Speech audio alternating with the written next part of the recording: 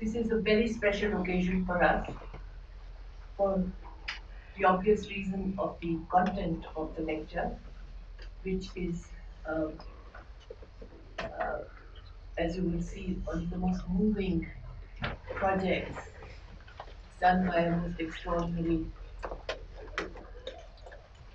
artist and person that we had in the Indian art world ever. But it is also very special because Chaitanya Sambrani is conducting this, this lecture and then conducting the discussion. Chaitanya is a very dear friend of ours. We knew him since he was a student in Baroda 30 years ago and have kept in close touch all of this time. And he comes about once a year, but not always with long enough time to give talks. And now he has come and given five talks in Bombay, one in Baroda, and some lectures at the Shiv Nadar University, and this one lecture. And we will now make sure that Chaitanya comes regularly and speaks in Delhi and gives us a sense of the kind of work, very extraordinary and diverse work that he is doing. Chaitanya asked me not to introduce him in detail, but I was determined to because there are many people here who may not actually have interacted with him since he's been away in Canberra at the Australian National University since 1999. Chaitanya Sambrani studied his studied art history at the Faculty of Fine Arts, MS University, Baroda, during 89 and 95. He taught at KN, at the School of Architecture, Privia in Bombay in the mid 90s to the end of the 90s, and went to Canberra, Australia for his PhD and has taught there ever since 1999. His scholarly work has been featured in conferences and publications internationally, including Australia, China, India, Indonesia, Singapore, UK, and USA. Chaitanya's curatorial projects have been quite exceptional. The first, Edge of Desire, recent art in India, which spanned the period of 2004 to 2007 because it toured in Australia, USA, Mexico, and India, and several cities within these countries. It was supported by the Asia Society in New York and the Western uh, uh, University of uh, uh, Western Australia at Perth. In 2010, he undertook a never before realized project with Chinese and Indian artists. Dialogue, dialoguing, extensive travel and curation in Shanghai of the exhibition Place Time Play Contemporary Art from the West Heavens to the Middle Kingdom, of which uh, Gayatri just spoke uh, in a moment ago, so I'll not say more. And in 2012, he curated Chennai to let the world in narratives and beyond in contemporary Indian art. And this was accompanied by a series of research films with Abhijit Mukul Kishore. This, this, these research films are an archive of great importance and they've been shown several times in Delhi and in other cities, but they ought in fact to be part of a major archive as a record of a long period of uh, thinking and practice around the subject of narrative. In 2009, he curated a mid-career survey of the work of Lao Australian artist, Savanhdary Vongpoothorn, and the title of the exhibition and his catalogue is All That Arises. Chaitanya is based, as I said, at the Center of for Art History and Art Theory at the School of Art and Design at ANU, Canberra, where we teaches courses on modernism and contemporary art in India, India, Indonesia, China, and Japan, and on art and design and urbanity. In 2018, he initiated and taught ANU's inaugural in-country course on Indonesian art. And he also started work on an ongoing project which sounds extremely compelling and unusual, The Wonders That Basham Saw. You all know about the historian Basham, and uh, incidentally, Sam Wright was the mentor of Romila Thapar, right? So this is an, an extraordinary project to undertake as an art historian, Wonders that Basham saw, analyzing the visual archives of Professor A.L. Basham, now in collaboration, now this, this project is in collaboration with colleagues at ANU, Canberra, the National Gallery of Australia, National University of Singapore, and the Ashmolean Museum, University of Oxford. Chaitanya is the primary author and editor of art, uh, sorry, of the book At Home in the World, The Art and Life of Ghulam Muhammad Sheikh, published in 2019 by Tulika Books in association with the Vadehra Art Gallery. Besides his art historical theoretical essays, Chaitanya has written on several Indian artists, which includes Vivan, Jitesh, Nalini Malani, Nilima Sheikh, Tallur, and Tushar, who are all also uh, his, some of them his uh, seniors and mentors, some of them his colleagues and friends. His current research project is much awaited so far as, for instance, I am concerned. It is titled International Affiliations and Cosmopolitan Aspirations Art, Nation, and World in India and Indonesia, with a special chapter on the comparison between the art schools of Bandung and Baroda, started within a year of each other. Chaitanya's language skills include a working knowledge of Bahasa Indonesia.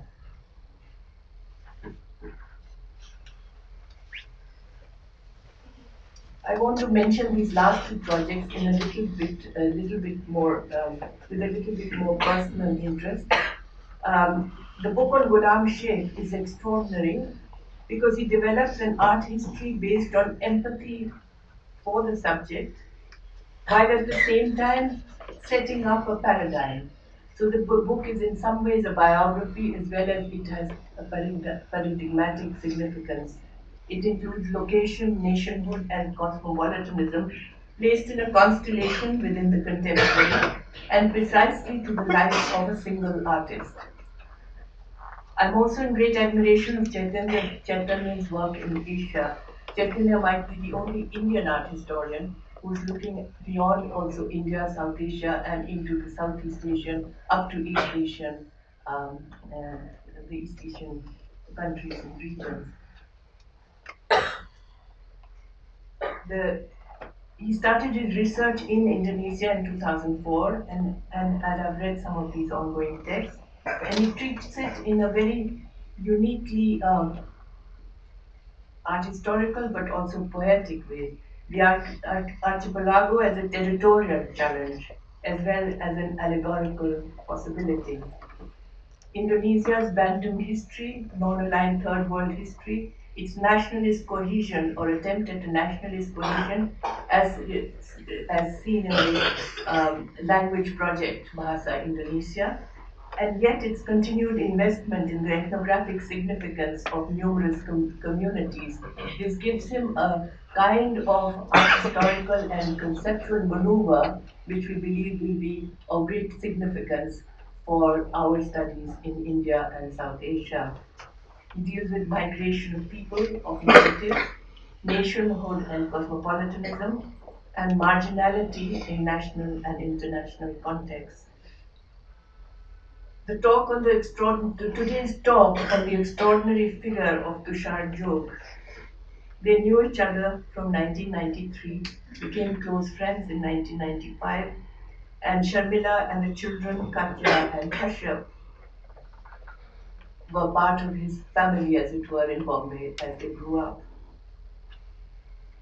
Chaitanya and Tushar made a pair that must always have been explosive.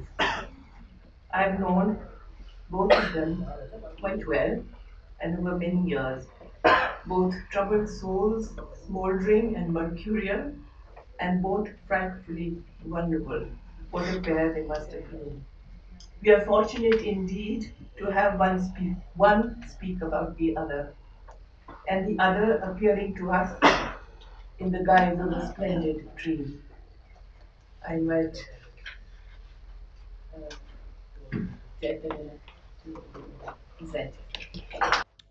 the ride to realization um, is a bit of a conceit that I hope will make itself clearer as I proceed. Um, it actually took him 54 days because on the 53rd day he reached the suburbs of Shanghai. And it was on day 54 that he uh, arrived at Shanghai Kilometer Zero, bang in the center of um, old Shanghai, the Art Deco part of Shanghai. But how did he get there and why? This is what became Rocinante. This is a Royal Enfield Bullet Thunderbird. So 350cc, 346 if you want to be precise, uh, single cylinder, four stroke, air cooled. I'm a motorcycle rider by the way. I, I ride a, a largish BMW. Um, and so I, I, get I get really quite enthusiastic about these things sometimes. Um, the strange thing is that it still carries a carburetor. It does not have fuel injection. That has very important implications for, alt, for, for high altitude journeys, which I'll speak about in a second. Uh, it's uh, pitifully underpowered. Its max horsepower is only uh, 19.8 bhp. Uh, it carries about 20 liters of fuel. Real world consumption is about 20 kilometers per liter, giving it a theoretical range of plus minus 400 kilometers in one fill. Not very good. Um, five forward gears, ground clearance is very low, 135. Um, it has spoked wheels, which is great, and disc brakes and anti-skid braking system has been introduced, which is a godsend. Um, relatively low seat height, so very comfortable to ride. Um, and it weighs in at 195 kilos without the sidecar. With sidecar and Tushar's gear in it, Rocinante actually weighed close to 300 kilos. So it was a bit of a behemoth to maneuver around. Okay, this is Rocinante's route. This is what Rocinante and Tushar performed together um, through India, stopping at the Sardar Sarovar quite deliberately, through Nepal, crossing the border at Kodari, Zhangmu, um, and then across Tibet, where he had to take a largest detour of about 1300 kilometers due to landslides. So that extra northward leg that you're seeing over there, he could have actually gone straight uh, towards the east, but that was not possible. Um, it finally clocked at 9,624 kilometers. Uh, the altitude range was about zero, uh, Goregaon, Bombay, um, about one meter above sea level to more than five kilometers above sea level. Yeah, so 5,261 meters was the highest altitude that he reached. Um, and that is quite something because it, you, you start getting really into thin air by then in all sorts of ways. Um, by my estimate, he would have consumed about 500 liters of petrol, about 5 liters of engine oil. I know that he went through four plus tires and tubes and a very large number of other bits and pieces. So during this odyssey, pilgrimage, Tushar traveled through cities, forests, farmlands, deserts, high mountain passes, frozen plateaus, and he made these two deliberate detours, um, the Three Gorges in China and the Sardar Sarovar in India. The quixotic foolhardiness of the enterprise is matched only by its momentous ambition in merging the journeys of Siddhartha Gautama whom we know as the historical Buddha, and Ernesto Che Guevara. To enable first-hand research into conditions that are submerged by nationalistic claims of prosperity and progress in the shape of mega dams. Tushar did not speak any Chinese or read. He navigated by map, hard copy, and compass, no GPS. The second half of the journey from the Nepal-Tibet border to Shanghai was an exercise in sheer bravado and unflinching determination. Many would have given up long time ago. This presentation hopes to link together some of Joag's intentions into a discussion of what is ultimately endurance oriented performance art, and the role of activism in contemporary cultural practice. Joag maintained a blog during his travels, openly while in India and Nepal, and then via proxy emails to his family after crossing into the People's Republic. He made 46 posts from start to finish. The blog and its accompanying photos come in as documentary evidence during my presentation. Towards the end, I will come to the sculptural installation that he produced during his two week stay in Shanghai by dismantling the motorcycle that had carried him across. In all of this, I am conscious of not trying to make Tushar into some kind of unrealistic superhuman figure.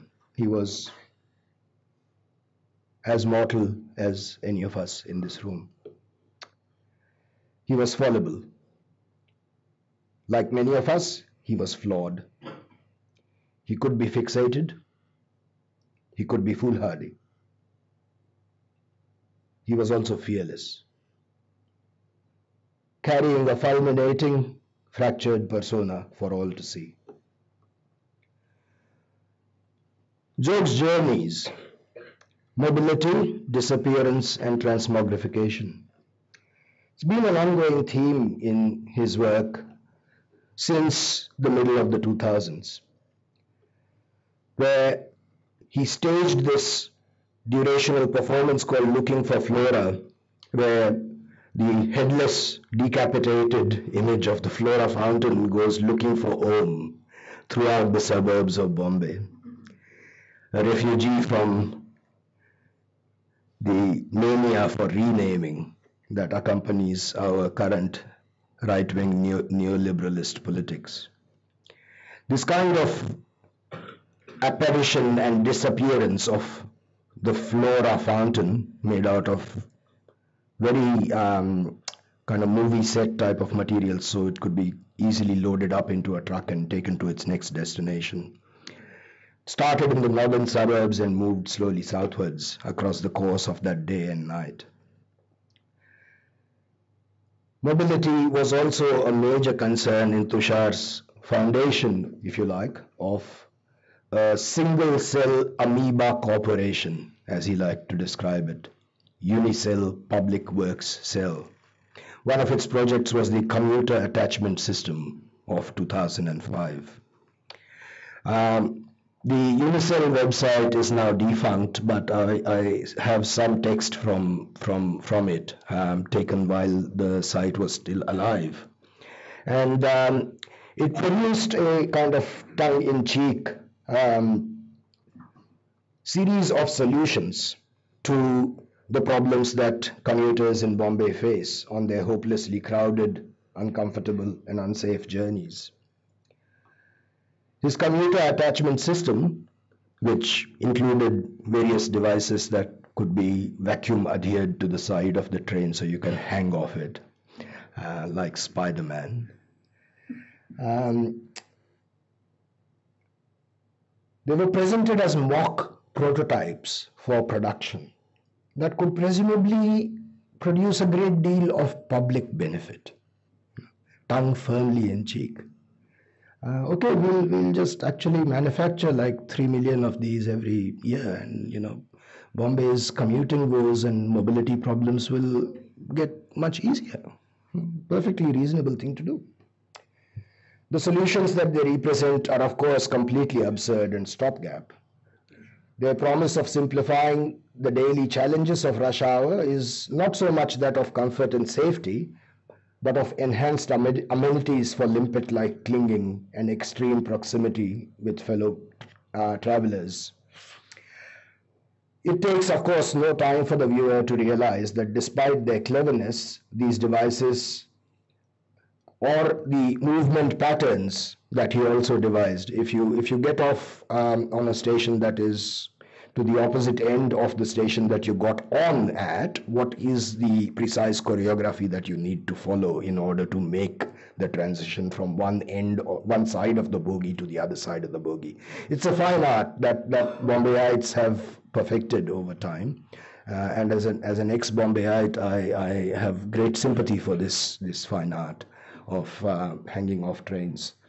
Um, he sought to mobilize highly charged literary strategy, strategies such as hyperbole and exaggeration and um, vidambana, criticism through humor, um, through, through his Unicell projects, where the viewer recognizes that what we are looking at is a lie. Obviously, it's a lie. But it, our recognition of the lie of it somehow forces a greater, more serious reckoning with the fact that this is actually a strange problem. I mean, we, we don't have to live like this. That it, it, it, it doesn't have to be like this. That, that the situation as it exists is not okay. And this was something very, very important for Tushar. Just because the situation exists doesn't mean that it's okay for it to remain. So Unicell's projects constantly improvised with ideas of mobility. With Venice of the East, this monocellular single-desk quasi-governmental con job produced a kind of do-it-yourself regime of urban renewal or beautification. It is also with Venice of the East that we see in the middle of um, 2004, 2005, Joag starts thinking about Shanghai and it comes up again and again. So there's a reason why I'm invoking this. Venice of the East was based in Bombay, but it constantly invoked, oh, let's, let's make Bombay into Shanghai. That is, that is the future. Shanghai is the future. So in that sense, his journey on Rocinante from Bombay to Shanghai is also a journey from past into future. Tushar was CEO of Unicell. He was creative divisional manager. He was production cell supervisor. He was also installations in charge, in which guys he would wear blue overalls, like Prozodezhda of the um, Soviet avant-garde. All of these roles combined to produce a mythical project worth, you know, let's pick a number 36,600 crores. Sounds all right. Got a lot of zeros. It's a bit more than what a thousand crores a year, so uh, a day, so 36,600. Okay, let's go with that. And a Mumbai makeover so that we transform the city through a network of canals and make it into a Venice of the East it would add Bombay's name to a long list of Asian cities, actually, if you think about it. Alleppey, Bangkok, Basra, Lijiang, Udaipur, all of these have at one time or the other been dubbed Venice of the East. They share the dubious distinction of having been dubbed at some point in history with this apparently glorifying name. The project basically consisted in delivering several thousand mock notices for eviction to people living in apartment blocks. So middle and upper middle class people were told that your house, your building, is in the way of our canal ways. You better move out. Please take this very seriously and we regret any inconvenience. So these letters were delivered and they invited people to um, you know make contact. Uh, alternative rehabilitation sites are yet to be completed. But since the rains are fast approaching and schools are to reopen we will try our best to accommodate you in one of the refugee camps. This is the kind of rhetoric that is often doled out to people who are not like us. Yeah. People who do not share our way of living but this actually does happen to other people. So his radical kind of um, undertaking of remodeling, if necessary through destructive means, the very intellectual fabric of smug middle class urbanity is something that um, remained with him. Um, and alongside this, something else that remained with him was a critique of the national goal of social transformation through infrastructural adjustment. That has been part of state policy since independence. You engineer social transformation by making changes to physical infrastructure. This policy is founded on faith in ideas of progress, and successive generations of political and administrative leaders have designed and implemented strategies for the so called greater common good, even though the human cost has at times been severe. Different kinds of social engineering with different degrees of compulsion have been characteristic of the nation state in the developing world. This is not a situation unique to India. The long cherished ideal of social engineering is based on faith in an essentially benevolent state apparatus that performs its actions not for the sake of power but for the betterment of its citizens. That is the conceit of state-based social engineering projects.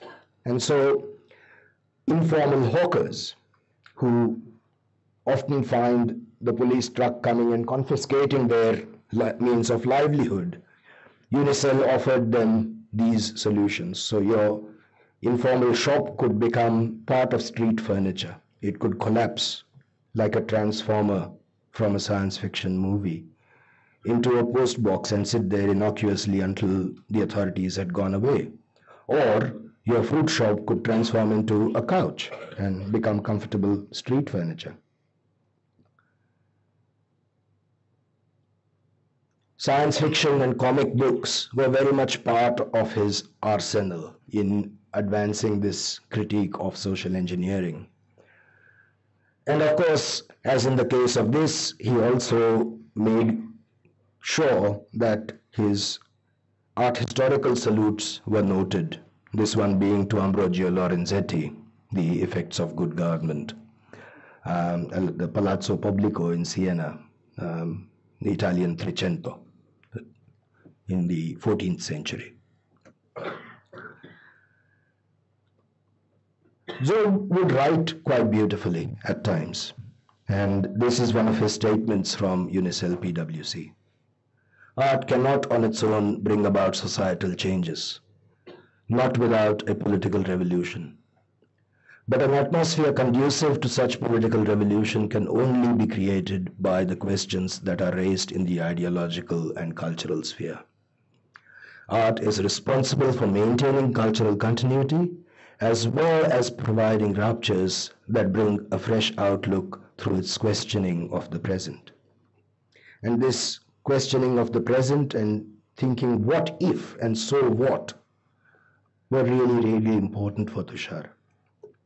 So when he wrote to me after our initial fieldwork trips in India and, Shang- and in China um, during the West Heavens project in 2009 2010, and he said, For the exhibition, I want to do a performance and I'm going to ride from Bombay to Shanghai. I said, Pagal ho gaya kya?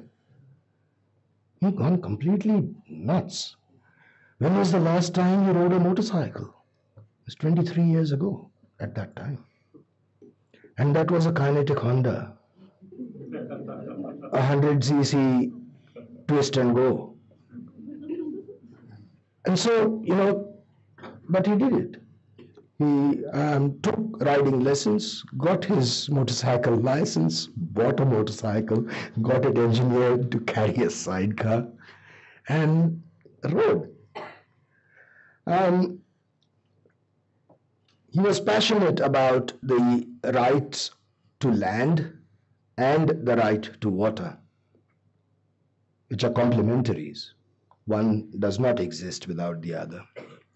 He was passionate about the fact that the world is in perilous shape and that the developmental ideologies of the nation state do not always serve it very well. Big dams were a particular target um, that, that Tushar wanted to think about very carefully. We are all aware of the problems that come up with submergence, with siltation, and in some cases, cases with geological instability as well. Strange thing is that this has a history that goes back to the late 19th century when hydroelectric power was seen as a miracle solution. Um, the Hoover Dam was built in 1935, the first mega dam in the world by the UK, by the USA. Um, India's Sardar Sarovar project and China's Three Gorges projects are very much part of the ideology of the modernizing quote unquote progressivist nation state. Uh, Tushar quotes the um, famous uh, temples of um, of New India uh, statement by attributed to Nehru, and he says that his journey is a pilgrimage. Yeah? The end of that first paragraph. After saying temples of the resurgent India, he says, My journey is a pilgrimage from one such temple in India, the Sardar Sarovar project, to the Three Gorges Dam in China. It has references to the many travels that were undertaken by heroes and legendary figures, journeys that changed the course of their lives. The short journey of Siddhartha Gautama or the long journey of Che Guevara. He was not at all in doubt about the fact that this journey that he was he was embarking on was um, every every bit as quixotic uh, as it was heroic. Uh, but he was also aware that it was going to be a journey towards self-realization as well. This is from his um, own papers. The if you if you look at the slide carefully, uh, I don't know whether you can see, but on the my screen you can see where the folds in the paper are. Uh, this was part of his um, um, background research, which was voluminous. Um, he he studied the ideology of big dams in different parts of the world, um, and uh, it, it's Perhaps a little bit surprising that something like 35,000 big dams were built between 1950 and 1990 in different parts of the world. 35,000 mega projects like this. Many of the argued and promised development benefits of these projects, of course, never materialized. Today, there is an ongoing problem um, that has become the legacy of many of these big dams in different parts of the world. Um, Tushar made a series of important um, visits to villages in the Narmada Valley that had been affected by um, submergence or community displacement. Um, he made relationships of solidarity with the Narmada Bachao Andolan. Uh, those relationships had predated this particular journey, but they were renewed during this journey. Uh, all of the images that you're looking at have been taken from his blog. Um, yesterday, in the company of Katya, I was able to look at uh, his hard drive where high resolution images of these um, high resolution versions of these images are, are, are still there. So um, the, the book was mentioned earlier, so we, we actually have a lot of really important material um, which Katya and I looked at yesterday. Um, throughout um, the long-running um, relationship with the Narmada agitation, Tushar produced a series of drawing works Um, these were, um, again, like the Unicell solutions, the so called solutions to urban problems, these were going to be solutions for the people whose livelihoods, forests, farmlands, homes, animals are being submerged by the big dam. So, flotation devices and periscopes and various kinds of things. Um, these drawings were presented often in terms of a combination between sculptural installation and, um, and framed um, two dimensional work. Um, and these drawings give evidence of a kind of constant searching, critical, sardonic, witty, and ultimately quite um, painful coming to terms with the realities of life in these submergence zones. Having uh, completed his detour to um, the Sardar Sarovar sites, he moved on through Madhya Pradesh and through UP uh, into Nepal. At a couple of locations, there were um, family reunions. This one was in Kathmandu. Um, Kashyap, are you here? Yeah, I think he was five at the time. Um, four, maybe four. Um, so the family came and met him in Kathmandu, um, and then the real fun started. Um, the this was um, September, so the monsoon was um, still in sway, and there had been lots of landslides, including the mother of all landslides. Where is the road? It was a complete lunatic situation that he was trying to navigate through on his three-wheeled um, slow, slow, slow. And um, I don't know how, but he did make it across. He was held up at the crossing, the border uh, to Tibet, uh, because um, the voluminous paperwork that is required by the Chinese authorities. Um, single unescorted Indian man on a motorcycle going through Tibet did not seem to Chinese authorities to be a very good idea at the time. So um, he had to commit to travel through all of Tibet escorted. Uh, that was an essential uh, aspect of the permission that was given to him that he would always be escorted by a government approved guide. And so, three different government approved guides accompanied him in their cars as he moved across the high plateaus. Um, along the way, of course, he had the opportunity to think about the third pole. Yeah, so we've got the North Pole and the South Pole, but the third pole is the Himalaya and the Tibetan Plateau. It contains the largest freshwater reserves anywhere in the world in the form of ice. And as it melts, thanks to human wrought climate change, it is likely to produce an exceptionally disastrous series of outcomes for all of Southeast Asia, all of China, and all of India. So, about 3 billion people will be affected by the demise of the third pole. And so he was able to observe the third pole and the canals that feed into the Brahmaputra, which comes through Bangladesh into to, to comes through through northeastern India and into Bangladesh. Um, this is a diagram of the third pole. That red boundary is what is described as the third pole.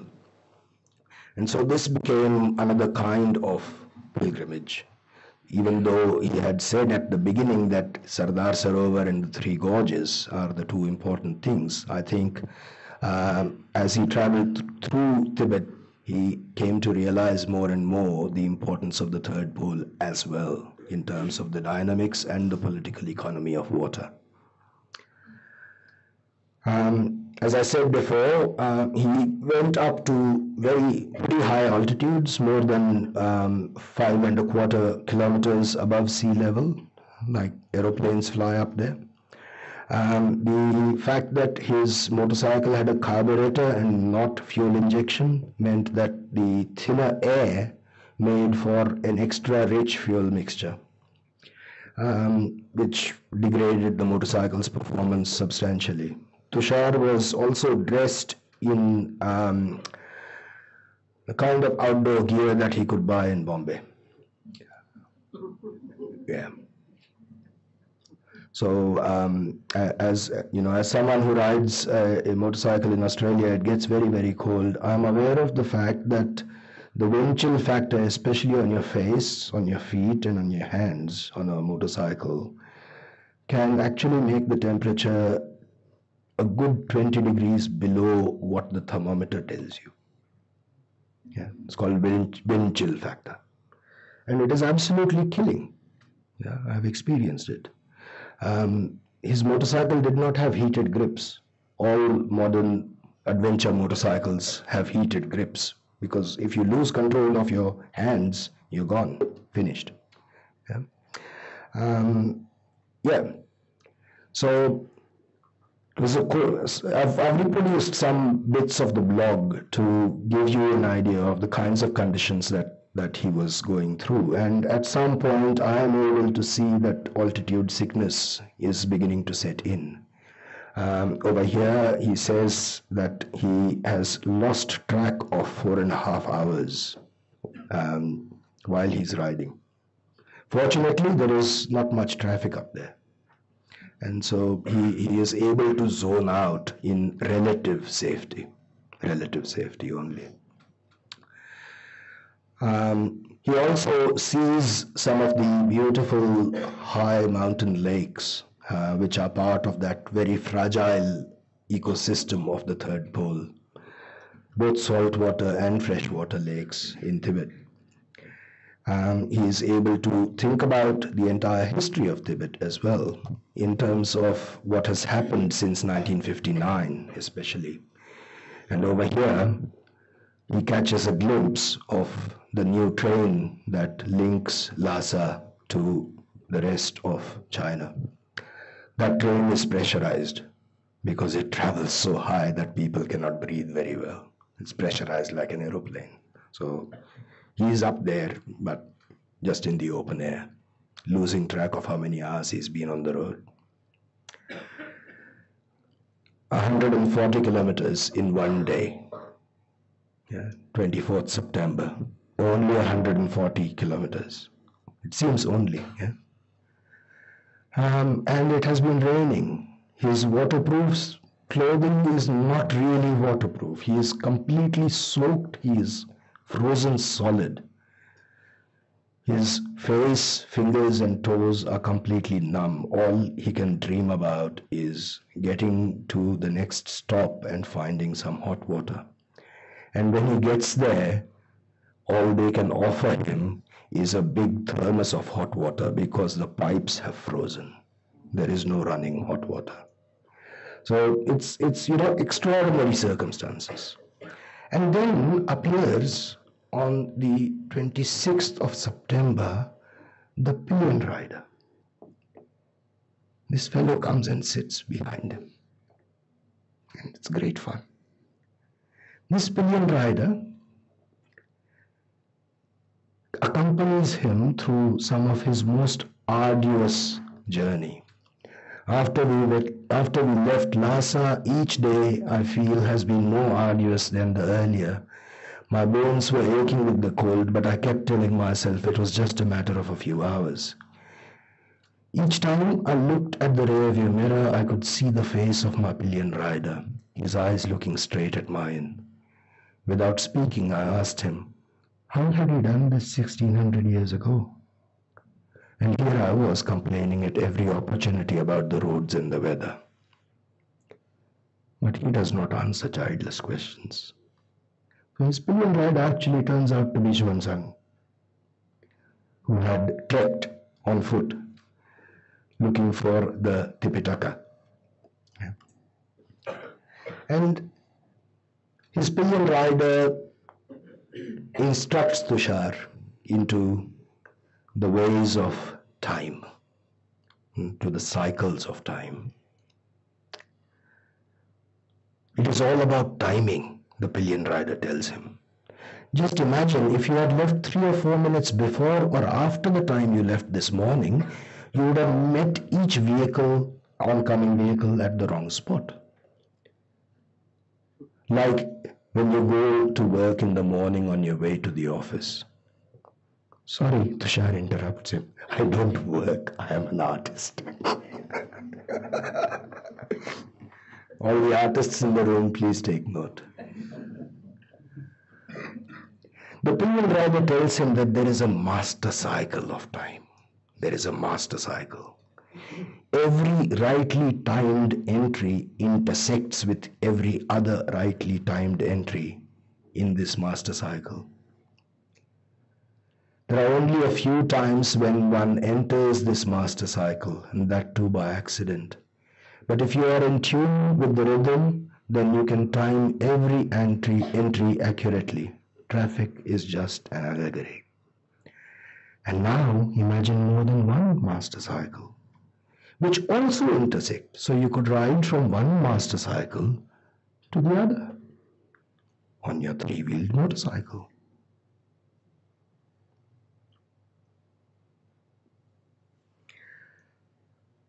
Tushar soon realized as he entered mainland China, as he exited Tibet, where he could still find some people who were familiar with India, that his absolute inability with the Chinese language was a huge handicap. No, you know, very often I've, I've met Indian friends who ask almost um, with affront, oh, why don't they speak English? Why should they? Just because we do. Uh, and so he took to uh, asking the receptionist at whichever hotel he was staying at to write down on a sheet of paper the name of his next destination in Chinese characters. And he would stick that to his motorcycle tank or he would stick that to his sleeve. And then when he found himself getting lost, as I said, he's traveling just with, you know, hard copy maps, no GPS. Every time he got lost, he would point, show me where, how do I get to this? Yeah? Um, traffic jams, of course, happened. And there's that fantastic photo of him taking a photo of the traffic jam, which we see later in some of the work that he produced subsequently. Um, as he got closer and closer to Shanghai, Rocinante started breaking down more and more often. It was not really built to take the rigors of what he was putting it through. And so spokeless became a sort of repeated refrain. Spokeless here, spokeless there, spokeless everywhere. When he reached the Three Gorges, um, his encounter with the mega dam was far more in the nature of a tourist's encounter um, basically because he did not have those long running relationships uh, that he did around the Sardar Sarovar, and of course, he did not speak the language. Um, but he had already done substantial homework on the history of the Three Gorges that um, I know exists in the hard drive I mentioned earlier. Um, one of the um, rationale factors for the construction of the Three Gorges was that the Yangtze, uh, the great river, would flood very frequently. And there was a disastrous flood in 1954 which wiped out the city of Wuhan, which you see over here. Um, the 1954 flood and the destruction of Wuhan became part of the rationale for controlling the river upstream near Sandouping and that is the area that has been now flooded. The Three Gorges until recently was the largest dam in the world. Now the largest dam in the world is on the Brazil-Paraguay border. They've gone and built one bigger than this. Um, he noticed that the Three Gorges Dam was bigger in every respect than the Sardar Sarovar Dam and he was aware of the relationship between the construction of the three gorges and the history of the People's Republic of China. Um, Mao's 1956 poem Swimming is recorded on the Wuhan flood monument, which was constructed in 1969, even though the flood was 15 years earlier. Um, those are the sites that are publicly accessible at the Three Gorges Dam, those viewpoints, A, B, C, D, E, and those are the ones that Tushar was actually able to visit. I want to take a little detour here to think about the river and its relationship to the history of the People's Republic. In 1966, Mao Zedong, who was at that time 72 years old and facing the specter of becoming irrelevant in Chinese politics, undertook a swim in the Yangtze. He was accompanied by his bodyguards. This swim reaffirmed his virility, that he was still a man to be reckoned with, and then he emerges and waves triumphantly in his bathrobe, etc., etc. The incident has been immortalized in a kind of history painting that you see over here by Tang Xiaohe. Uh, strive forward in wind and tides. It's uh, three meters wide, so it is very much the scale of a kind of history painting as we know it in art history. Um, the conquest of the river then becomes for the People's Republic of China and for Chairman Mao an absolutely essential ideological pursuit. That image was taken six days before Tushar was born, by the way. It's not intentional, it just happens to be. So, six days before Tushar was born, Mao, Mao was swimming in the Yangtze. Um, a month after his swim in the Yangtze, which reaffirmed his virility and his relevance, Mao launched the Cultural Revolution. So the implications of that conquest of the river are really very clear in what happens immediately after. The whole country goes red. And there's a 10 year period, 1966 to 1976, where tremendous transformation takes place, often in extremely violent conditions. All of this Tushar had studied. He arrived into Shanghai on a barge crossing the Yangtze on the 12th of October. The last puncture was fixed. 13th of October, he reached the suburbs, and on the 14th, he reached Shanghai Kilometer Zero outside the Park Hotel. Um, that's us with one of our research assistants, Simon Shu, who had been helping Tushar throughout his transit through China. The next day, Tushar undertook the Ashwamedha. Rocinante was sacrificed for the realization of Kantaka. It seemed like the systematic sacrificial butchering of Rocinante was an absolutely necessary precondition for the realization of Kantaka. Not possible otherwise. So this brave steed becomes a bunch of abject objects throughout that butchering process which he did in a workshop on the outskirts of Shanghai. It was reassembled into a couple of troughs, one in the shape of a human being, the other in the shape of a horse.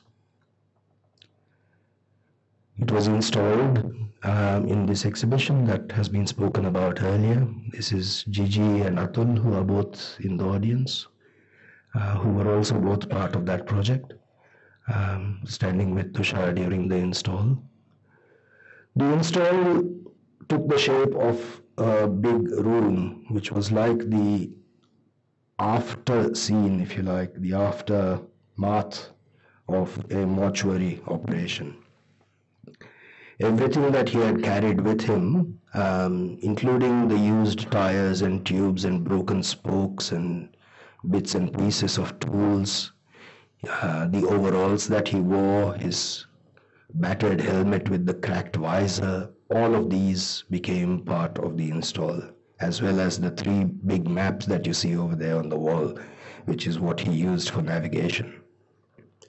And so the man and the beast, um, in their post um, mortal embrace, um, greet the visitor. Um, these these are the clothes that Tushar wore, and um, again, I'm I'm just completely amazed um, as to how it was even possible to undertake something like this. Um, these are the labels that he wore on his sleeves or stuck to his fuel tank, and these are the actual maps with which he was navigating. Three large hard copy maps. During the install process, I discovered Tushar took a few photographs of the bits of Rocinante that was submerged in this sludge of mixed oil and river from the Yangtze. Um, and these um, are quite amazing photographs in their own right, um, which bear thinking about also in terms of the nature of um, the beast when it has been reduced to abjection at the end of the journey. Directly opposite uh, Tushar's room, uh, we had the work of Qiu Zhijie, who a few years ago had undertaken another kind of foolhardy quest. Uh, he said he was going to walk from Lhasa to Kathmandu. Um, he didn't quite walk all the way, but um, that was that was the performance. Walking from Lhasa to Kathmandu, it was a tribute to um, a man called Nain Singh, who was um, a 19th century surveyor in the uh, employ of the Imperial uh, Survey of India, the British Survey of India.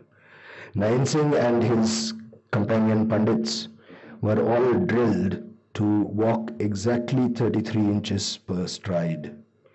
Uh, they traveled dressed as Buddhist pilgrims, hiding their survey instruments and in their robes and in their prayer wheels and so on. It was part of what's been described as one of the you know one of the great games where the Swiss, the Russians, the French, the British were all trying to uh, find an alternative route uh, into the sort of backyard of mainland China, not via the sea but via overland.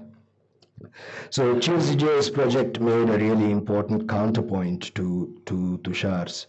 And in this next section, I want to think about a few other uh, projects by artists from different Asian countries who have thought about this notion of traversal, this notion of migration and the foolhardy journey. So Qiu Zhijie made his journey wearing shackles which were 33 inches long so that he ended up with severely bruised ankles at the end of it, uh, to mimic the 33 inch drilled step of Nain Singh. Um, and um, he commissioned these tankas, uh, which are all mock tankas, they're not real tankas. Um, and they are all populated with cartoon characters from the history of Tibet, from the history of China, and from the history of India. Um, in the foreground are three pieces of um, railway uh, track that were made from melted down ritual vessels that he had bartered for during his walk in Tibet. So uh, now that you know the the the train from Golmud to Lhasa is on, um, the next step logically is to link Lhasa to Kathmandu and you know the Belt and Road Initiative and so on that we have heard about in more recent years. Um, but this notion of um, traversal and abandonment through traversal is something that various other artists have also thought about, and this is the work of the Korean artist Kim Soo-ja, her Botari truck. Uh, again, she travels ostensibly on top of this truck, although I don't believe that in Korea the road rules will allow this. Uh, but she ostensibly travels on top of this truck, uh, which is laden with these pitiful bundles of cloth, the botari, um, which has been not only uh, a way of um, domestic kind of um, housekeeping in Korea, but has very important um, relationships to the history of the Korean War and the dispossession of people and the colonization by Japan, which lasted from 1910 to 1945. Uh, so the Botari is another of these sort of abject objects that speaks very eloquently about history. So Kim Sooja has produced uh, several other projects uh, using using this metaphor as well. And thinking about the river, um, especially the third pole and um, what ensues from the third pole. Um, this is the work of the Chinese artist Yin Xiuzhen, um, which is very much like a Unicell project if you think about it carefully. Uh, it's called Washing River. The river has become dirty. It's time to clean it. You know, so you freeze the river into blocks and uh, invite the entire village to come and wash the blocks, and slowly, slowly, slowly, the river becomes clean um, or the project that Song Dong has been uh, performing since 1995, where he writes his diary every day religiously with water. So that, you know, the trace is there, but it's never there as well. In 96, Song Dong uh, performed this in Tibet, in the Lhasa River, uh, holding in his hands a wooden block um, of Chinese um, characters used for printing. He printed on the water, um, almost like you know it's it's a it's a way of thinking about uh, the the fate of Tibetan culture um, in in in the um, since 1959. Um, some of these collaborative projects um, by Zhang Huan have also dealt with the politics of water. So in, in a way, what I'm trying to sketch out is that Joag's project with the Sardar Sarovar, the third pole and the three gorges is part of an ongoing series of artistic projects, very often manifested in terms of performance um, that have a relationship with the political economy of water. And it is perhaps a truism only that, um, you know, the, if, if last century's wars were about oil, this coming century's wars are going to be about water. This is again the work of Qiu Zhijie, one of his more recent projects, um, in which he has undertaken a sort of mapping of the world, a global cartography. And um, this particular uh, work again emphasizes the politics of water.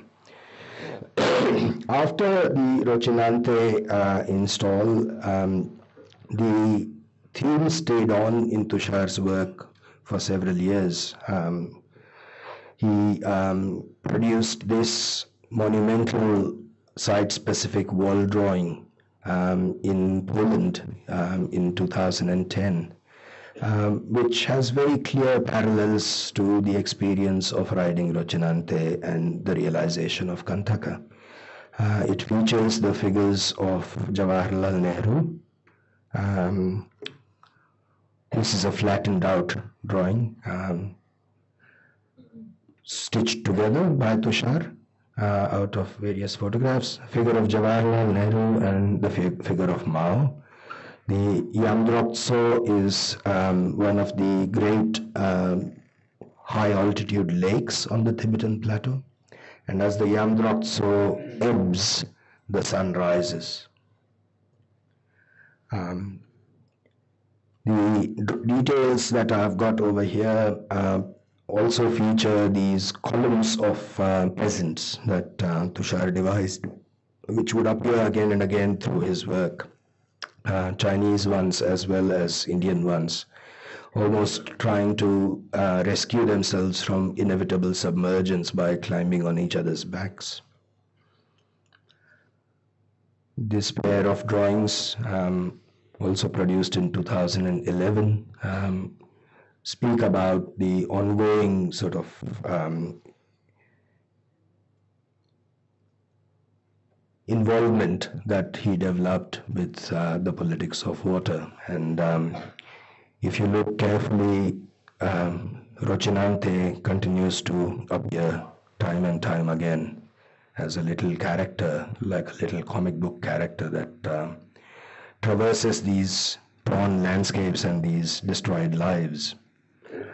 Um, some of the work that he produced subsequently was um, in the nature of photo, photographic collage. Um, this reminds us of that, that photograph where he took an image of himself in the rearview mirror. Um, Tushar's career as an artist was not straightforward in any conventional sense. Um, as many of us know, he studied for his master's degree at the Faculty of Fine Arts in Baroda, finished in 1990. It was not until 2005, a full 15 years later, that Tushar had his first solo show. So it's, uh, it's usually not the case. Um, he was quite insistent that the self affirmation of the solo show was not something to be chased for itself. The conditions had to be right, and what he had to say had to be worthwhile and cogent in order for him to think about a solo show. He undertook residencies at the Kanoria Center and at the Rijksakademie. He taught, he conducted workshops for students of art and architecture, participated in group exhibitions, dozens of them in India, England, Pakistan, Sweden, Cuba, Korea, Australia. The majority of these projects were built on a sense of shared purpose. The most famous of these is Open Circle, of course, which I won't go into today. He co-founded that with Sharmila and other, other artist colleagues in 1998. He remained relentless in his quest to exp- expose the absurdity and venality of administrative machineries.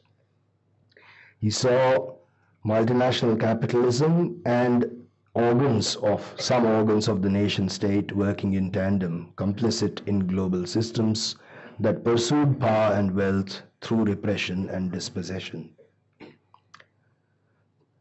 Throughout these myriad pursuits, relatively little was produced by way of commercially viable work. There's a very large amount of Tushar's work stored um, in Tushar and Sharmila's studio that I saw yesterday. Sparse sales of his work frequently amounted to a fraction of what might have been expected of an artist of his stature. Um, his artistic persona was that of a man possessed by forces that were way greater than himself and way greater than anyone else. These forces that possessed him. He could glow white hot with outrage and disgust at corruption and injustice, even though he wanted always to remain fully engaged in the everyday, in his family, and in his children. This missionary zeal that he put forth sometimes went amiss in the contemporary art world. A large part of this contemporary art world, in Tushar's opinion, was built on hubris, grandstanding, and duplicity.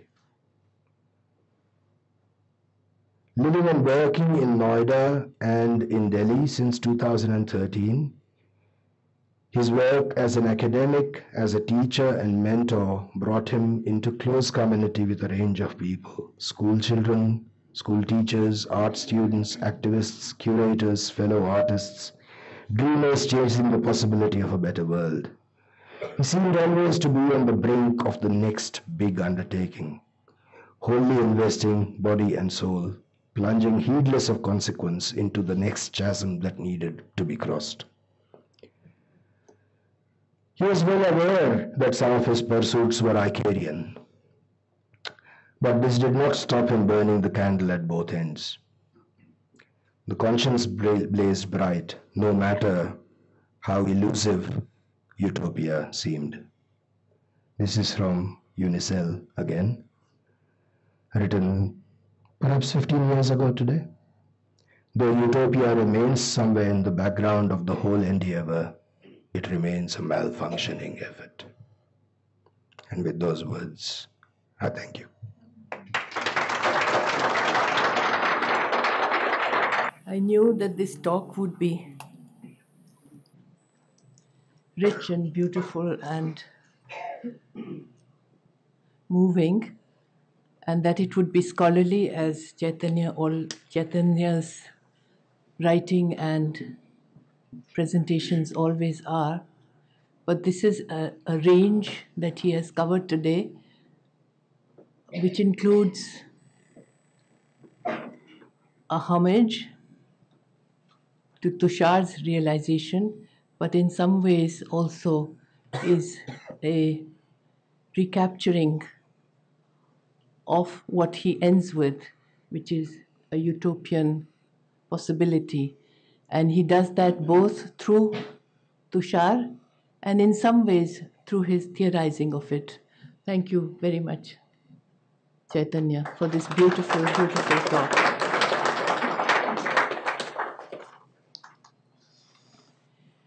We'll soon move to the discussion, but I had wanted to say a few words about Tushar, which I refrained from at the beginning when I started this session.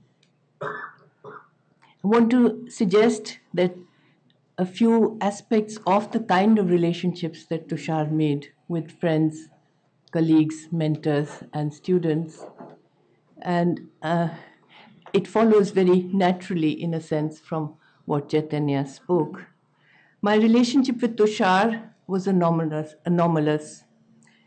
I was so much older, but he had some sort of an absurd faith that I was sufficiently sentient and understood something of his driven nature, his radicalism that bordered on nihilism, and this has come up again and again in Chaitanya's presentation, and his impulsion to go to the brink of which the Rosan- Rocinante project is the peak. In one part of one part or the other of the globe, there was he found a purpose, uh, and he worked uh, with uh, Majlis, for instance, to set up um, large projects in Kenya, in uh, just remind me where in Brazil, uh, Belo Horizonte, yeah, and in Bombay. And these were enormous projects of multi various kinds of activities, researches, presentations, and so on. The Sardar Sarovar Dam on the Narmada that he had protested against with Medha Patkar for many decades, and then the Three Gorges Dam, which you have heard about from Chaitanya, involved peoples and ecologies on a huge scale. The journey was the mission of a witness, in every respect, a witness. Always admitting that the witness act was itself not adequate enough. There was something of an existential game plan to always test himself. And that he had not, and the fact that he had not failed on this trip on Rocinante from Bombay to Shanghai this fabulation that he had dreamed up would have made him smile, recognizing his childish machismo a little sheepishly. And I can see that he would have as much wanted to fail as he might have wanted to succeed. While, he was, while it was a journey across an actual terrain of many perilous roads, as you have seen, where he would have, he says again and again in his blog, he would shout expletives to the wind and rain and mud. It showed him also the sublime, the mountains and lakes, and people living their daily lives. From West Heavens, which is what the Chinese called India, from West Heavens back to China, to Shanghai on the Pacific coast. He traveled, uh, Chaitanya, 10,000 miles? 9,624 kilometers. Uh, kilometers, sorry. I shouldn't be speaking of miles here. To prove the value of his, and I think that Tushar, who hated hubris, was full of hubris himself of a kind. He traveled these uh, kilometers to prove the value of his hubris and wore no shining armor before or after that. Childish machismo to polish his hubris into a gleaming armor and then to retreat into complete and utter doubt, which I think was the mainstay of his soul. Chaitanya ended with his words, and I would like to do the same to repeat the words. Though, though utopia remains somewhat in the background of the whole endeavor, it remains a malfunctioning effort. And in some senses, he had devised Rocinante to be a malfunctioning machine which stood by him and saw him through. The floor is open for questions, and we might have a longer response in the beginning and then shorter questions as you would like. We can have, I mean, we don't just have to have questions, we can have responses and comments. Chaitanya, please. Ashish Rajadhyaksha, uh, who happens to be here very fortunately from his. Um, thank you very much uh, for that, uh, Tushar. Sorry, Chaitanya. um, thanks, Tushar, also, uh, and, and Geeta. Um, I think, you know, I mean, the, the, there's, there's lots to say, uh, and there are lots of questions, lots of suggestions, lots of ideas, uh, some of which we will carry on in this conversation, but I hope we will take it forward in other, other conversations as well. Tushar becomes a kind of a, a signifier for various other conversations, which I suspect that work will probably enable. So uh, I um, read the blog uh, almost continuously, actually, over the last two days. I had not had the occasion to, to, to engage with it earlier. And uh, while I cannot claim to be something of an authority on Tushar's work, I did think, I, I've always seen him, and the way you've shown him also as a political figure, I did, I did see the blog a curiously, you know, as a curiously sort of um, innocent and factual blog, uh, startlingly absent of politics. Um, it, it, it doesn't actually deal with politics, and to the extent it deals with politics, it's a peculiarly kind of Nehruvian frame within which he has chosen to cast this, and you also sort of referred to it again and again. Now, that particular Nehruvian frame, I mean, begins this thing by quoting Nehru, he then goes to Anand Bhavan, he then has the Sardar Sarovar, and he even quotes, uh, frames Narmada debate uh, within the Nehruvian developmentalist ideology, which is not necessarily, I suppose, how he would have always framed it. You know, uh, the Sardar is also actually questioning that. The, it's, it's, it's often at, at tension with that. Um, and then he goes through Tibet, and there's zero mention of Tibetan politics. Now, the one thing you would have thought is Tibet uh, is, is, is an astonishingly complex space. Uh, and, and then, of course, goes into China. And it is, it is at the China end of it that I really want to pose my, my question to you. Um, the, the question is primarily this thing about problematizing China, okay? Um, it's astonishing that this work was done in 2012 because literally it seems that in the last, what, uh, eight years, things have changed so dramatically vis-a-vis China that I doubt very much if he could have done this today. It, it, it seems inconceivable to me that they would have actually let him do it. The, the extent of crackdown is, is quite um, uh, astonishing. But more than that, there is another kind of problem that seems to be emerging, which I think we in India ought to be especially aware of, and that is that I, I, I put it to you that, that, that, that Chinese modernity, in the way that more and more debate has come up, I'm thinking of Wang Hui's work really about modern Chinese thought, doesn't map India's. And China's own framing of things like these gigantic infrastructure projects are not those of India. Nor indeed, astonishingly, is China's theory of the nation similar to India's. And only now, I think, has the problem of Chinese nationalism and the crisis of Chinese nationalism attached to Chinese modernity in the way that Donald Trump will tell China that human rights means this, that, and the other, you have to do this, that, and the other. We will certify that this is that this is what it means, without China having any similar ethical basis on which to critique the West. Uh, you know, there, there is a certain sort of a crisis that seems to be emerging, which may allow us in hindsight to read Tushar with the degree of irony that arguably his work possesses, but which the blog doesn't. Um, you know, so you have mentioned repeatedly the use of irony. I want to just suggest, in conclusion, uh, just one possibility in which how this might be done. Um, you mentioned time, Uh, you know, you mentioned this, this fellow sitting behind him, and so this whole time question. I think that the whole idea of, you know, the Foucauldian heterotopia, you know, this idea of regimes of multiple temporalities, is, is a way that we might be able to take this forward because I think that there is a real problem here, and I think there is a certain, let's say, Indian conceit here where we believe that just that that they should speak English, but we also believe that we think we know China.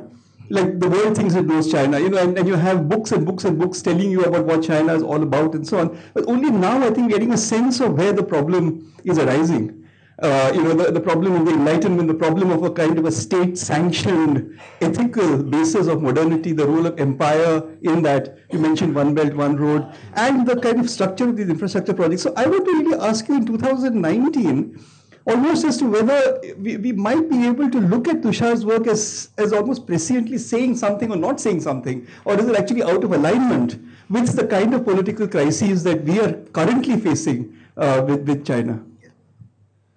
Uh, thank you, Ashish. I think you're absolutely right in observing that it will probably not be possible for him to undertake this journey today. It would not necessarily eventuate like this. Um, the fact that it happened at all in 2010, it took a lot of doing. Um, getting him the necessary permissions to ride across Tibet was a really, really grueling task. And uh, had it not been for the tremendous acumen and persistence of our project manager Chen Yun, um, it would not have taken place. It was um, really, really quite dicey. Um, he, he did get held up um, at Kodari at the border, um, not allowed to cross into Zhangmu on the Tibetan side for lack of paperwork for a couple of days. Um, and as I said, he was escorted yeah, by uh, approved travel guides uh, through Tibet. The blog is really quite deceptive to my reading about what's actually taking place. Um, when he is in Tibet, he is not allowed to blog.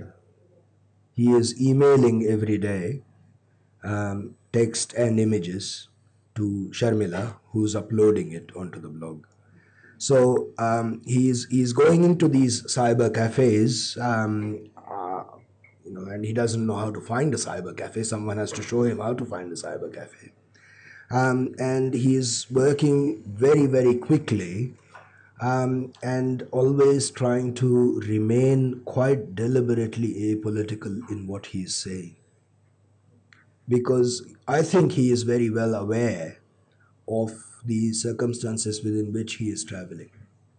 And the fact that he is being escorted, the fact that email communication in the People's Republic is even less secure than any other place.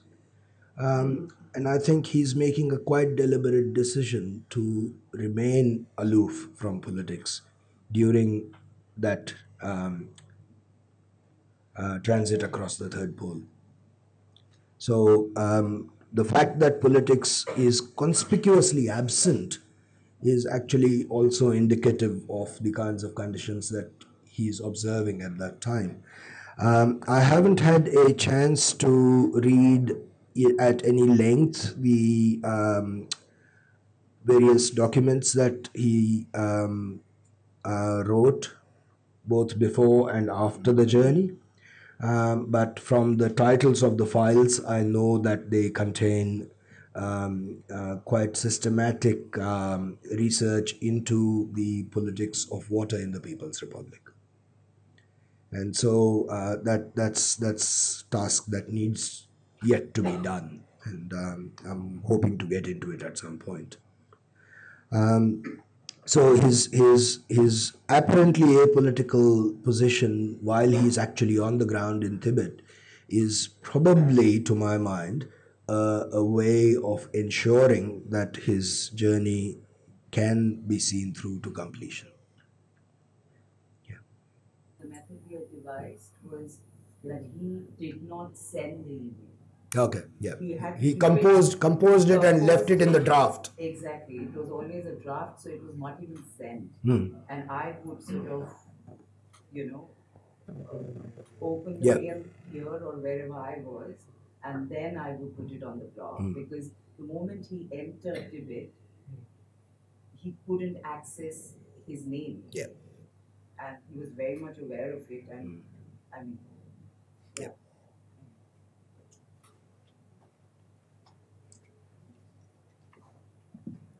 Thank you, Chaitanya. Extraordinary presentation, and I'm in deep, deep awe of this work. But my question is about the telling or the narration of this work, and I was quite curious about um, that, the form of telling centering around, around this individual, let's not forget, male figure traversing this landscape. And I'm very curious how this sort of reproduces a certain kind of uh, narration of this modern heroic feat. Um, that you know the arrow of time is practically being ridden on by uh, the modern artist, and um, clearly in the narration of this, even as you answer questions, there's an entire like large scattered paraphernalia that keeps changing with different geopolitical conditions. There's also a very large set of people that also accompany in this journey, and how does one then maybe retell or narrate this that sort of captures in essence his own critique to, to the Hubris in the contemporary art world that, that encapsulates, embraces um, all of these agents, and then in which he probably is not the rider of the bike, but the bike is riding him, sort of thing. That, you know, you, it, he was the medium to tell the story of Rocinante. Ro- Rocinante might be the protagonist uh, in this to tell a certain political journey about a certain um, emergence of a road um, that we see emerging in a very even stronger way right now. And I mean, even the the project of walking, uh, Enwezor had talked about this in his Archive Fever of those monks riding with those 33 centimeter sort of thing. So traversing then be- becoming a collective project, and how does one map that sort of collectivity in this journey, and perhaps avoid the the the trap of the singular uh, heroic journey that is being taken. And I think we're part of this retelling of many historical moments right now because of the way American triumphalism constantly posited the singular figure as the, the individual agent of all of this. So, so perhaps as a way of all of us to rethink these tellings of, of projects such as these. Yeah, thank you, Sabi. Um, I, I think, you know, Kantaka, the horse of Siddhartha Gautama, dies of a broken heart because the prince leaves and goes into the forest. In the legend of the Buddha, Kantaka dies of a broken heart. So, what does he realize? What is the realization? Um, in this particular story, Rocinante is slaughtered in order to become Kantaka. Um, I think that the masculinity, the virility, in fact, that is implicit in Tushar's endeavor um, is absolutely essential to recognize, and I'm glad that you do. Um, it is paralleled by the masculinity of Qiu Zhijie, who dons his 33 inch shackles and tries to recreate the journey of Nain Singh.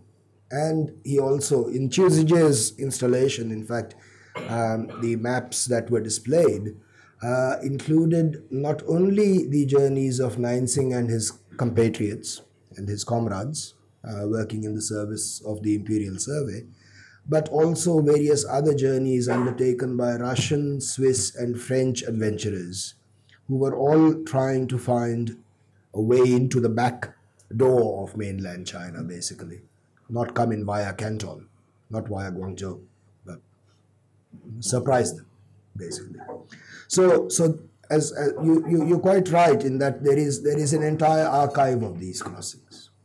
And Tushar is, I think, aware of these previous crossings or attempts at crossings.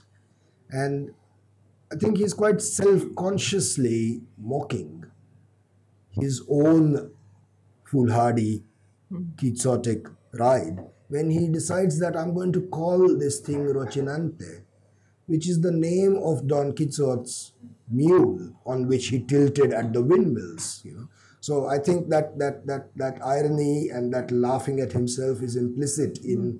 the very titling of the beast to begin with, and then it's you know, and you know, it, it it's almost like it, it's a necessary condition that Rocinante needs to be butchered, that the horse needs to be sacrificed at the end of the conquest, in order for Kantaka to reach realization.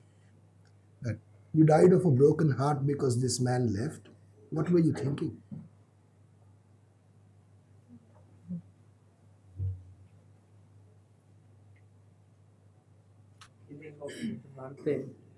is expressed in very uh, existential and romantic terms.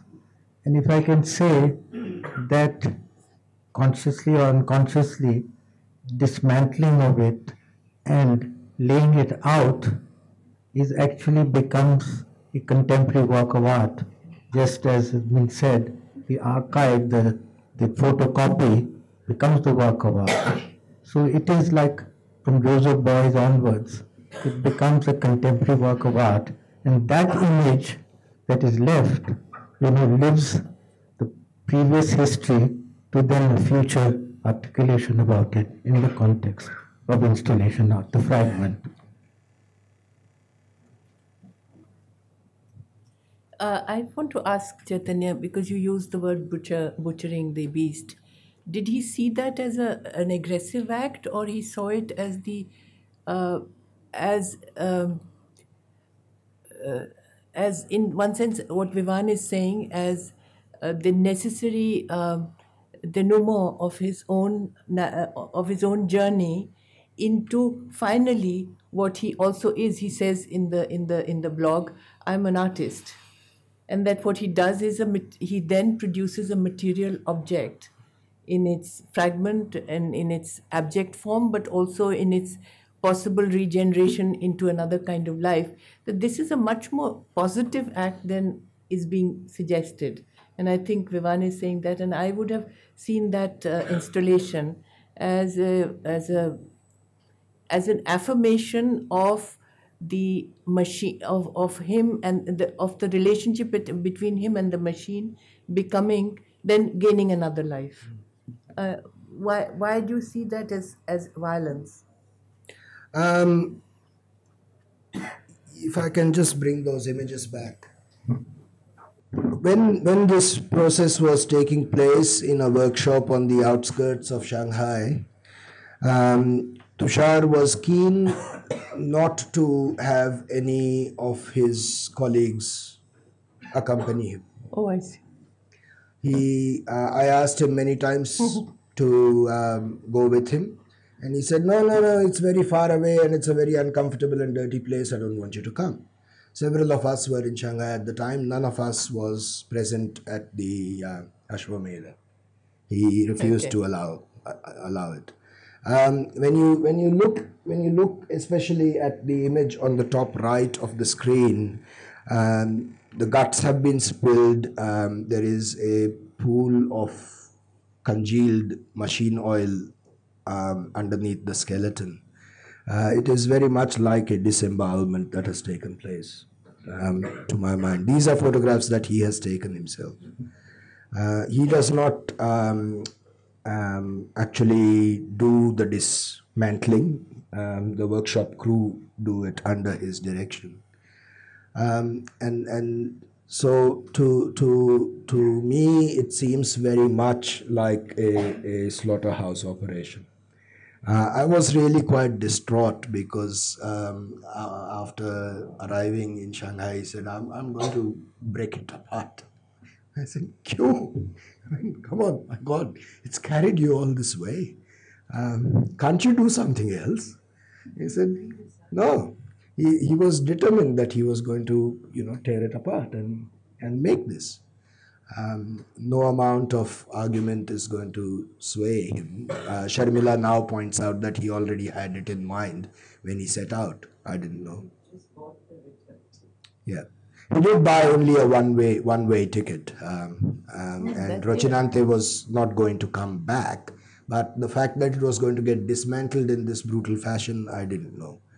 Um, incidentally, he also arrived in Shanghai uh, the day his visa expired, and then he spent the next two weeks. Um, um, you know, we would we would sometimes smuggle him into the hotel um, after the staff had gone a bit sleepy, uh, because he was he was in in Shanghai illegally for a couple of weeks, uh, which was which was great fun. At the time, it wasn't great fun at all. Um, yeah, but I don't know if I'm answering your question, but um, it, it, it it's just something that I um, have construed it as. Uh, I may be wrong, of course, but uh, that's that's how it seems to me to be. You use the word dismantle all the time. In fact, the bolts are all open. And theoretically, this could all be put back again. If you use the word slot, just let me finish. If you use the word slaughtering, then there are hacksaws. Did he cut the parts into into Yeah, absolutely. Uh, so there is no There is no- conceivable way that Rocinante could have been made whole again. Okay, because By the time they were finished, it was it was you know it was really quite final. Right. He did use a hacksaw and cut No, no, no. And you know, machine parts were machine parts were completely yeah. So you can actually when when you look at the detailed photographs of the install, you can see that you know there's no conceivable way that this could be repaired. Um, the frame was cut by hacksaw. Um, uh, things were separated from each other. Different components of the motorcycle were separated from each other with absolutely no regard for um, um, any possible recuperation. So just to complete one part of my thing, that this dismantling and this presentation, potentially, one could say that this is a historical a- aspect or uh, exhibitory thing of a major example of installation art. Sure. In India, I don't know whether we have a museum that would have the courage to buy such an installation art unless the forces of articulation and art history say now you museum you're behind this should be presented as well Sure. we're still behind Of course. museology or museum practice. Art, art practice Yeah. always exceeds the limitations of institutional practice. Um, and that I suppose we should be grateful for the fact that art practice does exceed the limits of institutional practice. Otherwise, we'd be in a very sorry world. There's a question here. Just a comment actually um, about the violence and the butchering and the dismantling. And the only way I could see this, um, having known the project when it was done as well, is a sacrifice of that which is most beloved to you. Yeah, Ah, yeah. right. That's the only way I could see Yeah, this in a way yeah. that it can all be put back together. Um, Mm. It's in Judaism, it's in Islam, and it stands in for that which is most beloved to you. And for me, it's truly that. Thank you. And because heartbreaking, you lose that which is most beloved to Yeah.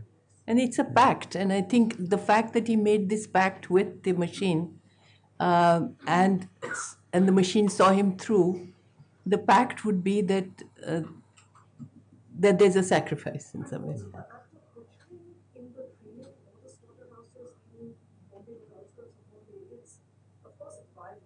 Um, there is the killing of an animal to turn it into meat. Um, it's also very precise. Yep. Um, it's an art, it's a skill. So it's not a sort of free-for-all violence of a particular sort, but there is logic to it and a skill to it. Um, so again, the act of butchering is not it is violent in that it is but could symbolically stand in for a Yeah, it is systematic. It is systematic. It's like an operation in a workshop. Yeah, absolutely. Other questions? Or responses? We don't, yeah, but While this is, uh, you know, every bit of performance art these days is filmed from the minute it starts, you know, to the moment it ends, whether it's 24 hours of Nikhil Chopra or whatever it is. So how is it that this trip was not filmed? I- or it would make such a fabulous uh, documentary as well. Uh, it would have been physically impossible to do so. And and you but know. did you think about it? Um, no, because um, it was hard enough to get him solo across, uh, leave alone a film crew, and we had we had no money for that kind of expense either. Um, but uh, to to to take a film crew through Tibet, uh, it's it's another another another kind of negotiation, another level of negotiation that um, we were not able to support at all.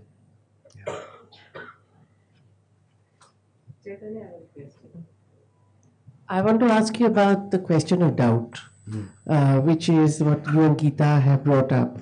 Uh, there seems to be um, the element of affirmation through the masculine um, heroisms and the conflation of these heroisms. Ashwamedh and its long history, uh, Che Guevara, Mao Zedong, um, Kanthak.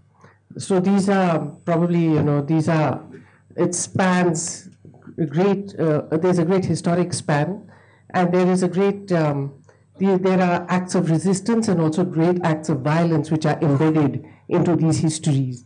Um, in the case of the narrative, these come forward as acts of affirmation. Uh, I'm interested in the cynicism and the sardonic element which you use through the Unicell project, which seem to represent an entirely different attitude. I'm, I'm interested in asking you what is the, how do you read this singular solitary act and its heroic, and as talks about its, um, its machismo as well, in comparison to the collectivism and the faith that we would have reposed in the open circle, other kinds of collective projects, the Narmada resistance, etc. Surely these were embedded in a great amount of collective faith. Whereas here we are talking about dispersal, dissipation, destruction. Um, thank you, Gayatri. Um, I think there is a clue in um, in the last sentence of his artist statement that he produced for the catalog. He says that rather than being a, a journey from point A to point B, this is a journey towards myself. And he, he, he ends on that very, very carefully, I think, to, to put his own kind of quest for realization front and center in our minds. Uh, in, in a way, the realization of Kanthaka is also the realization of Tushar Joag. Um, and so the, the masculinity that is inherent over here, I mean, of course, there is a question here. Could, could we, could we, could we um, think about um, this kind of journey and the networks of journeys that you have referred to, that Sabi has referred to? Um, if, if we think about them in, in historical terms, then the vast majority of them have been produced by persons of the masculine gender. Um, they, they all almost always involve traversal into territory that is not one's own. Leaving one's familiar environment and going into someone else's place. It's it's it's it, it's a it's a it's a um, it's a tendency that is you know written large across the Ramayana. It is written into the Mahabharata. It is written, written into a large number of the world's legends, and it is in fact one of the sort of foundational conceits of patriarchal history writing. That you know it is it is this this kind of traversal and and this penetration of the territory of the other is a peculiarly masculine activity. Um, thank you so much for the talk. Uh, I've heard many narrative where artists or art practitioners talk talks about their friends. But this is the more like this is the you have to remember it. This is the best uh, narrative I heard. One person is talking about his friend. And I think like this is how artists should talk about their friend. But this is the very point uh, I have some problem with, and that is I, I have because in your talk there is a element which is personal, which was, which was also private to you. The way Narrates, there is a private element to that. The way Geeta also talks, there is a personal relationship. That's under, underlined. I have not spent so much time with Tushar, so I can't claim so much. But I have whatever time I've spent, like smoking out of the uh, outside the gallery after the talk and all. I never felt he was a great man. And that is his greatness. He never let you feel he's great, he is, except his physical beauty. That's, I think, lot of people admire, lot of people have crossed like on, on that, which he could not hide it. Otherwise, he hides everything. If you ask a cigarette, he will wander his four pockets, no? shirt and pant, and then he will give, he will never say no, and there is constant smile there is ease to be with him. There are many artists in our generation, I mean, including senior to uh, younger than me. Uh, there are very difficult moment to talk to an artist who, is saying hi to whom first time, or you're saying hello or you're giving smile. It's very complicated. It's very hierarchical. I never faced that with Tushar. But today, when I heard your narrative, it makes me uh, very uncomfortable because this is the said the, the heroic version I never saw. I, I knew the, this work. I saw this exhibition in Art Gallery long back when I was new to Delhi. But today this is this is Tushar I, know, I, I don't connect to. You push him to a stage, it maybe in a theater somewhere. I don't know if I'll be ever be there in that stage, which makes me inferior. I always like before I used to envy him now I feel very small in front of him, which I don't like. So my question is, are we talking about a dead artist and trying to immortalize immortalize him, or are we talking about a young artist? I assume maybe he still is al still alive in our brains, in our like heads somewhere, and trying to make, to trying to keep him young forever. So my question is about that. Are you, in your vision, are you trying to immortalize or you are trying to keep him young forever? Okay, um, let me answer you in two ways. Uh, one is that um, what he attempted uh, during the um, August and September of 2010 um, even a very seasoned adventure motorcycle rider would not attempt. Okay, it is actually a really, really weird, way far out dangerous thing to do. can you, can you, can you, can you? Selling on that point that nobody can do it. Would you like, would you like to, would you like to hear me out? Thank you. Um, so at one level, the endeavor is extraordinary in just its physical undertaking. Okay. Um, I cannot undo the fact that he traveled 900, 9,624 kilometers, going as high as 5,200 meters. Um, that is that is what he did you have to recognize the fact that he undertook an extraordinary journey. There is no way that acknowledging the extraordinariness of that journey should violate any preconception that you might have about who Tushar was and what he stood for for you. Okay? So you have to acknowledge the fact that what he pulled off was in any book extraordinary. And with a poverty of technology and a poverty of equipment that is flabbergasting. Okay? So I'm sorry that it does not occur very nicely in terms of what you would like to think about Tushar as being, but this is what he did. ऐसा हुआ I cannot undo it and I cannot not tell that story. It is part of his work. Okay? I have not made anything up over here. This is actually what he attempted to do and he pulled it off. Okay. The fact that he is no longer breathing here with us and the fact that his life, his breathing stopped when he was 52 and a bit, I cannot undo that either, nor do I wish to. So perhaps you might want to think about it a little bit further. Yeah, he was 52 when he died. He was in the prime of his life. He was young still.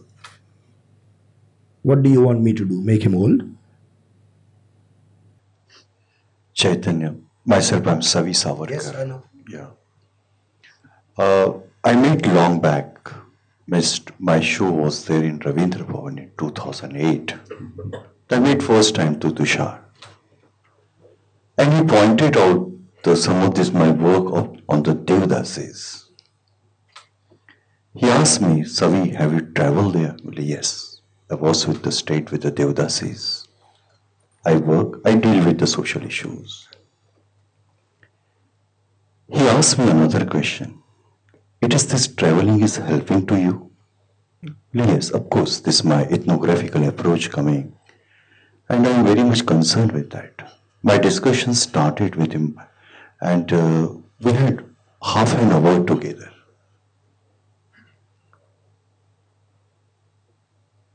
Now I am realizing, because after that I haven't met him. But do you have any any program or any kind of things to extend such kind of works in the form of written, in the form of any kind of written for the new generation, which is required in the academic and the professional also. Have you the, some such kind of plan and something to that? It will great help for the academics today. Um, I, I, I, I earn my living by teaching. Uh, I'm a full time teacher. Yeah. Um, but also, what has been mentioned earlier is that um, the SSAF Tulika uh, book about this project, it might become a way for other people to continue to think about their own practice as well.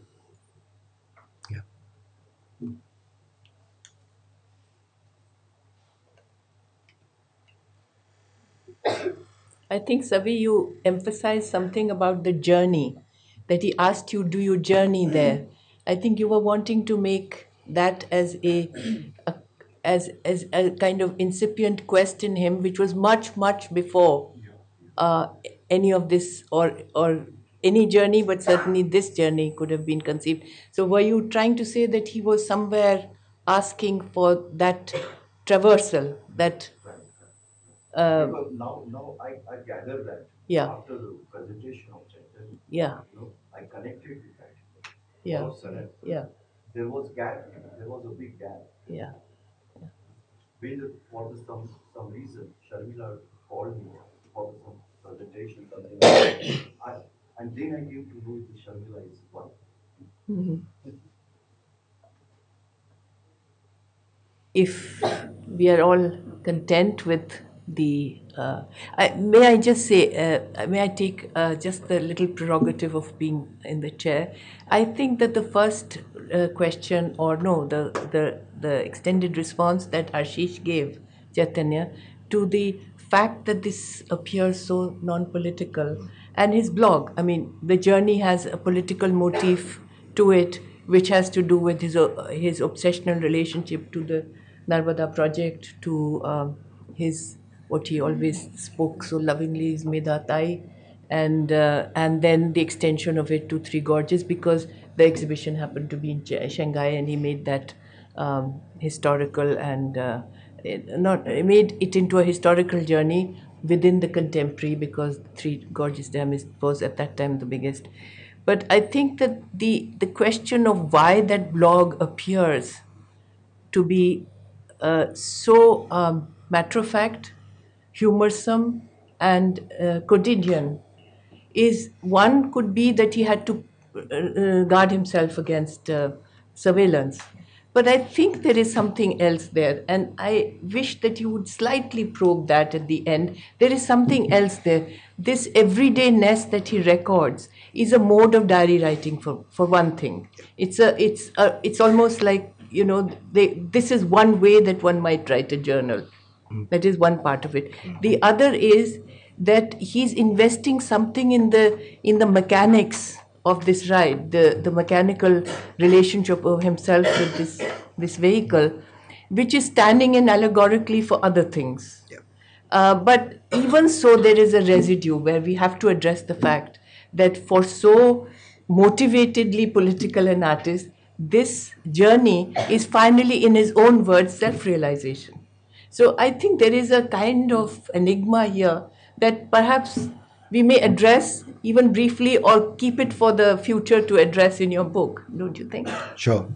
Um, one thing that I, I, I would like to note over here is, um, um, and, and this is also interesting in terms of the earlier discussion around masculinity and virility, is that uh, by the time he crosses from Tibet into Qinghai, he is exhausted.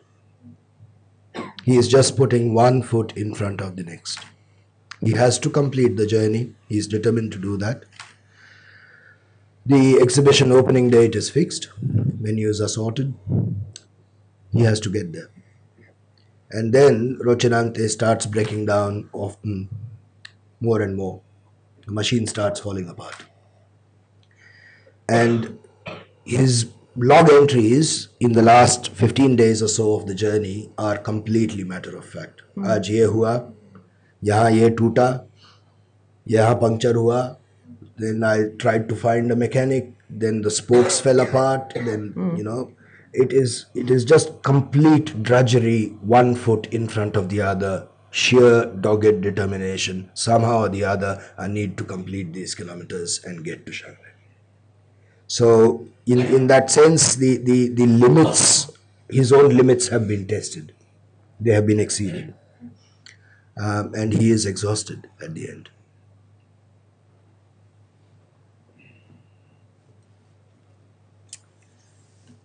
Thank you, everyone, and thanks to a, an extraordinary lecture. We are very grateful, and there's a, another life to this.